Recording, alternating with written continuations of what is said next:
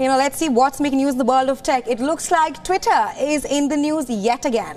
Right, it finds itself in hot water with Google Cloud, and this as it has refused to pay bills as the contract with it comes up for renewal this month.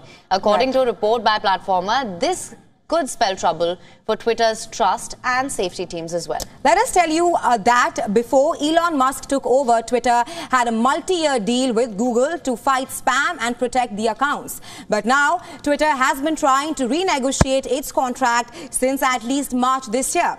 And if Twitter fails to migrate the system to its own servers before the end of the month, the shutdown would greatly impact the company's ability to combat spam and child sexual abuse material. It's also important to note here, Aisha, that both Twitter and Google haven't said anything on the matter yet.